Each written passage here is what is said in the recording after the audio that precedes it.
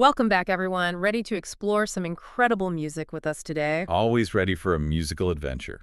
Well, today's deep dive takes us on an auditory journey to a place brimming with rhythm, soul, and a history as rich as its melodies.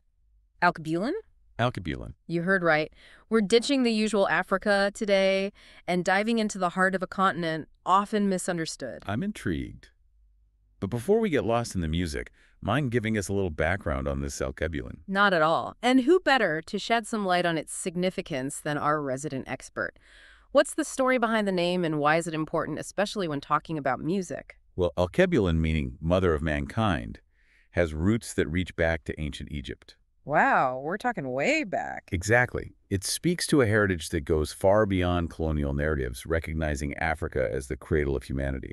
So using Alkebulan is about reclaiming that narrative, connecting with a deeper history. Precisely. And that connection to heritage is deeply intertwined with the music itself. It's about understanding the context where these sounds were born. That makes so much sense. And with a history that rich, it's no surprise that the music born from this land is so vibrant and diverse. Absolutely. It's like a conversation echoing through millennia. A conversation expressed through melodies, rhythms, and voices. You got it. Well, since we're talking about voices, let's tune into some of the giants who've shaped the sounds of Alkebulan. What I find fascinating is how many artists from there haven't just created music, but sparked dialogue, even movements, with their art. That's the beauty of it. Music in Alkebulan is woven into the fabric of life. It's a tool for education, for unity, for social change even. Like Fela Kuti, his Afrobeat was more than just music. It was a call to action. Exactly. He famously called music a weapon, not literally, of course, but a force for positive change. Powerful stuff. And then you have someone like Miriam Makeba, who described music as a universal language. And she lived that truth. Her voice became a beacon of hope during the struggle against apartheid in South Africa. Talk about music transcending borders. Speaking of traditions, I read about the griot tradition in West Africa, musical storytellers keeping history alive through song. It's incredible. These griots carry the weight of their ancestors' stories, preserving lineages and legends. Talk about a living archive. It makes you realize there are so many layers to the music of Alkebulan. Absolutely. Mm. To truly appreciate it, we need to understand the influences that have shaped it. Traditional roots, colonial encounters, modern fusions like threads in a tapestry, all woven together. So let's start with those foundational threads, those deep-rooted traditions. Imagine the diversity of an entire continent expressed through music. You have intricate rhythms, vocal techniques passed down for generations, and instruments unique to specific regions. It's like each instrument holds a piece of cultural history, but this tapestry doesn't stop there, does it? You mentioned colonial encounters.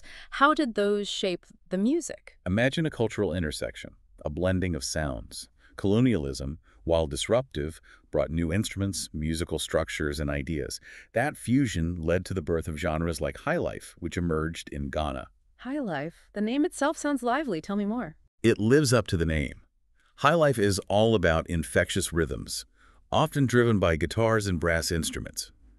It's a blend of African melodies with those Western harmonies, perfect for celebration and dancing. It's amazing how music embodies both the complexities and the beauty of cultural exchange. Absolutely. And this evolution didn't stop there. As we moved into the 20th century, those modern fusions took center stage. So we're talking jazz, rock, hip-hop, all those global genres finding their way into the mix. Precisely.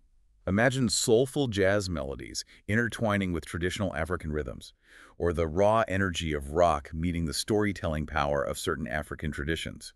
It's a constant evolution pushing boundaries, creating something new while holding on to those deep-rooted traditions. A beautiful dance between preserving heritage and embracing innovation. And from what I'm gathering, this dance takes different forms across the continent. You're catching on quickly. Each region has its own distinct flavor, its own story to tell through music. Well then, let's embark on a little musical journey, shall we? Where should our first stop be on this sonic adventure?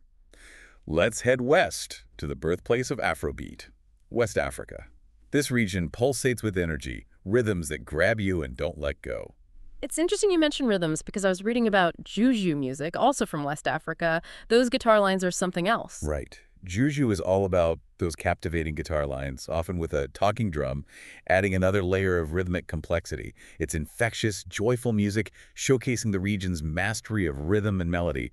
It's no wonder West Africa has had such a global impact. And it's not just the music itself, it's the messages behind it. I mean, Fela Kuti, a true icon of Afrobeat, used his platform to speak out against oppression. He turned his music into a force for social commentary. Absolutely. His music was a call to action, a way to challenge the status quo. It's incredibly powerful, but ready to explore a different vibe. Always.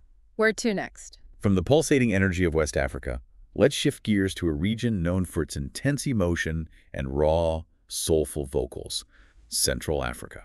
You mentioned earlier that Central Africa was the place to feel things deeply. What is it about the music that creates that feeling? A lot of it comes down to those passionate vocals, often expressing stories of love, loss, and the human experience. Mm. Soukous, for example, is a genre that perfectly embodies this. Soukous, that's the one from Congo, right? You got it.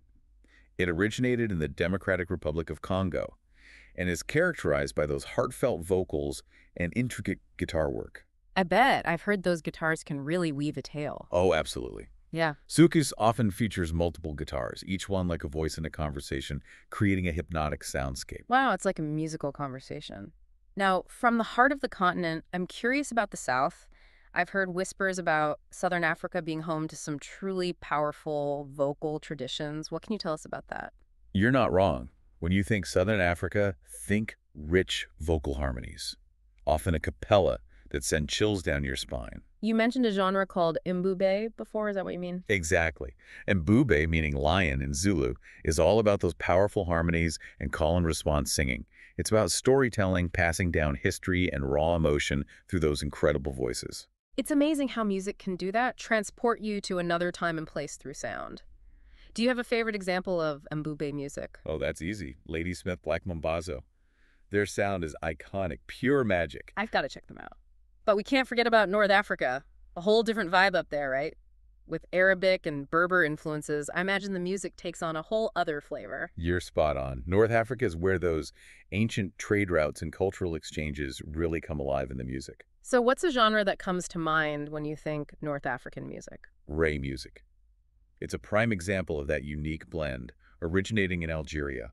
It often features traditional instruments like the oud and gasba flute alongside modern instruments. Rai, the name itself has a certain mystique to it. What's the story there? Well, Rai translates to opinion or advice, and it often reflects that. It emerged as a form of social commentary, challenging societal norms. Imagine a smoky cafe in Algiers, the scent of mint tea in the air, and the raw, emotive vocals of a Rai singer filling the space. Wow, I can practically hear it now. you know, hearing you describe these genres, from the high life of Ghana to the soukous of Congo and the Rai of Algeria, it strikes me that music in Alkebulan is about so much more than just entertainment. You're absolutely right. Across Alkebulan, music is woven into the very fabric of life. It's a vital part of ritual, ceremony, celebrations. It's a part of everyday existence. Can you give us an example of what those rituals might look like? Take the asterisk Inyambezi asterisk rituals in southern Africa. These rituals use music and dance as a way for communities to grieve and heal together. It's amazing how music can do that, bring people together in times of joy and sorrow. It's a testament to the power of music to help us navigate complex emotions, you know. It's a reminder that music can be a conduit for healing, a way to connect with something larger than ourselves. It's like a language that speaks to the soul. And speaking of powerful voices, we'd be remiss not to mention the incredible women of African music. Oh, absolutely.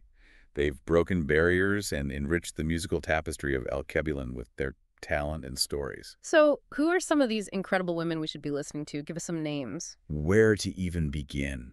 There are so many. But you can't go wrong with Miriam Makeba, a true icon who used her voice to fight against apartheid. I've heard her name, but to be honest, I'm not very familiar with her work. What kind of music did she sing? Think South African rhythms blended with jazz influences. Her voice was absolutely captivating. And then there's Angelique Kidjo from Benin, a true force of nature. I've heard that name too. What's special about her music? Get ready for powerful vocals and electrifying stage presence. Seeing her live is an experience. And then, of course, there's Cesaria Evora, the barefoot diva from Cape Verde. Barefoot Diva. That's a new one. What's her story? She often performed barefoot in solidarity with the poor and displaced people of her homeland. Her music is soulful, often described as morna, and utterly captivating. Wow, what a powerful statement. It seems like there's always more to discover. Any other women we should add to our list? Oh, definitely. Don't miss Oumou Sangare from Mali. Her music carries messages of female empowerment and social justice. It's inspiring to hear about these women using their platforms to uplift and empower others. It really drives home that music can be a force for good in the world. Absolutely. And that force isn't confined to Alkebulan itself. Its influence stretches far beyond the continent's borders. You're talking about the global influence of African music. It's incredible how those rhythms and melodies have traveled, influencing so many genres. Exactly. Those rhythms, melodies, stories, they've crossed oceans, shaping genres from jazz and blues to rock, pop, hip-hop, you name it. It really does. It speaks to the universality of music, don't you think? How rhythms and melodies, no matter where they originate, can resonate across cultures and continents. It's a reminder of our shared humanity. We might speak different languages or have different traditions, but music has this incredible power to connect us on a deeper level. I completely agree. It reminds me something I came across while prepping for our deep dive, a quote from Sitting Bull. He said, it is through this mysterious power that we too have our being. Mm. He was talking about the land, our connection to nature, but it struck me how easily those words could apply to music as well, especially the music of Alkebulan. I see what you mean, that sense of reverence, of recognizing the power and depth within the music. It's essential. Because it is more than just entertainment, right? It's a reflection of the human spirit. It's history, culture, raw emotion, all woven together into something that transcends borders. Beautifully said. Yeah. And in a world that often feels divided, music, especially music from a place as diverse and historically rich as Alkebulan, Mhm. reminds us of our shared humanity. It's like a bridge connecting us not just to other cultures, but also to something deeper within ourselves. So, as we wrap up our sonic journey through Alkebulan, I want to leave our listeners with this. Stay curious.